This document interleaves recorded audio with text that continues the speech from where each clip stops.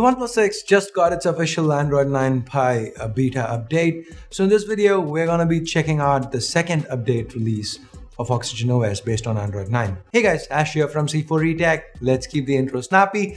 Card to giveaway, link in the description. And down there you also have the bell icon. Click on it to keep the good stuff coming.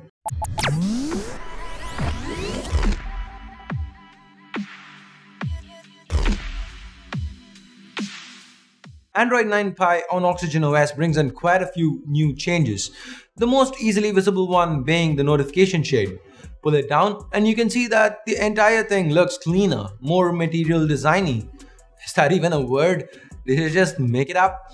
You guys see any design change? Let me know in the comments down below. On to the next set of changes, we have the revamped volume slider. It now controls the media volume by default instead of the ringer.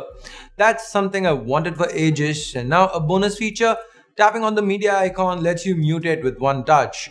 Moving on, we have the new navigation system. Now this one isn't enabled by default, but once you enable it from within the settings menu, well, this is how the interface looks. The recents button is gone and instead of the usual circle, we have this pill-shaped home button. Tap on it once to go home and swipe up for recent apps. You can also find all of your running apps here and you can swipe along to cycle through all of them. Now personally, I quite like this gesture-based navigation system. But then I want to know what you guys think. So here's a poll. Let us know if you like the old gesture system better than the new one. Now, some of you may be thinking, Ash, where are the new features? These are all the same stuff we've seen on the Pixel and Android Pie. Well, this is just the second beta, guys. Hold on. As of now, I'm just happy to see OnePlus 6 running so smoothly with Pie on it. Do note that Google's AI launcher features aren't here yet. OnePlus has disabled the second swipe up for the app drawer from the recent menu and done away with the predictive row of apps as well. Now, personally, I haven't spent enough time on Pie to get used to these features, so I don't really miss them. Okay, time for some closing thoughts. The already fast OnePlus 6 seemed a tad faster.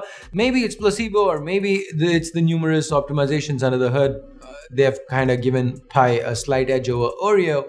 I can't really say for sure. Would you guys like to see a speed test once the final build rolls out? OnePlus 6 Oreo versus OnePlus 6 Android Pie do comment down below let us know if that is something you'd like to see and by the way my personal favorite pie feature adaptive rotation lock is here as well so overall even as this is a beta build it looks and feels quite polished and in the time i spent with this device we didn't really face any major hiccups if you do end up flashing this, do let me know how your experience is. I'll leave a download link as well as detailed instructions in the description below. So do check that out if you wanna uh, want this beta on your OnePlus 6. And since you are down there, why not share this video? It doesn't cost you anything, helps us out a lot. Of course, thumbs up, thumbs down based on what you feel about this video. Uh, subscribe and turn on notifications by clicking that bell icon. And that's it. It's time I bid you adieu. Thanks a lot for watching. Until next time, my name's Ash. You've been watching C4eTech. And I'm signing off for now. You guys have a great day. Bye bye.